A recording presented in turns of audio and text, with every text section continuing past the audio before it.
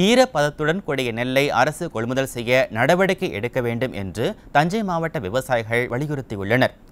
தஞ்சை மாவட்டத்தின் பல்வேறு பகுதிகளில் கடந்த வாரம் பெய்த கனமழையால் அறுவடைக்கு தயாராக இருந்த அனைத்து பயிர்களும் மழை நீரில் மூழ்கி நாசமடைந்தன. இந்த நிலையில் கடந்த இரண்டு நாட்களாக வெயில் அடிக்க துவங்கிய நிலையில் விவசாயிகள் அறுவடை செய்த நெல்லை கொள்முதல் நிலையங்கள் முன்பும் சாலைகளிலும் கொட்டி வைத்து காய வைக்கும் பணியில் ஈடுபட்டு வருகின்றனர். கடந்த அதிமுக ஆட்சியில் செயல்பட்டதைப் போல லேசான ஈரப்பதத்துடன் கூடிய நெல்லை கொள்முதல் செய்ய விடிய அரசு நடவடிக்கை எடுக்க வேண்டும் என்று விவசாயிகள் கோரிக்கை விடுத்துள்ளனர்.